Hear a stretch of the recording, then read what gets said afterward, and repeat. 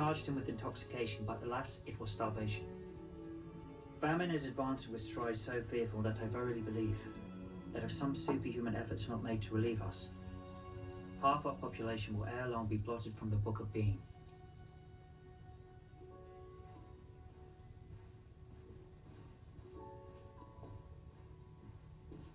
Sir Robert, have you read this letter from the rector of Schull?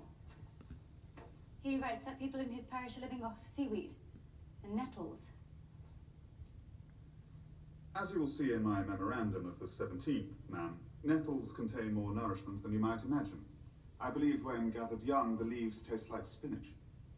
Dr. Traill writes that people are too weak to bury their dead. And that corpses are left by the side of the road.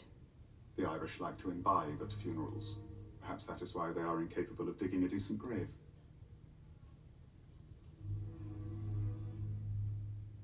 Aren't you going to do anything, Prime Minister?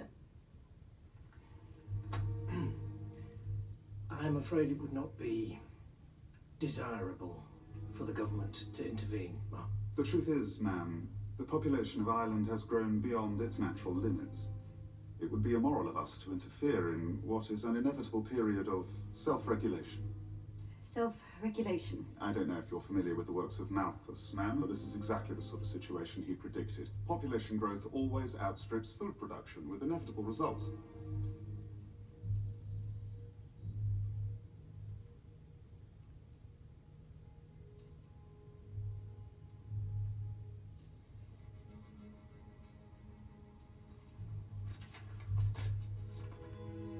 I think I should like to visit Ireland. I feel I need to see the situation for myself. Such a visit would be inadvisable, ma'am. Why not? Surely my presence will bring them some comfort. I'm not sure how comforting your presence would be. I could not guarantee your safety.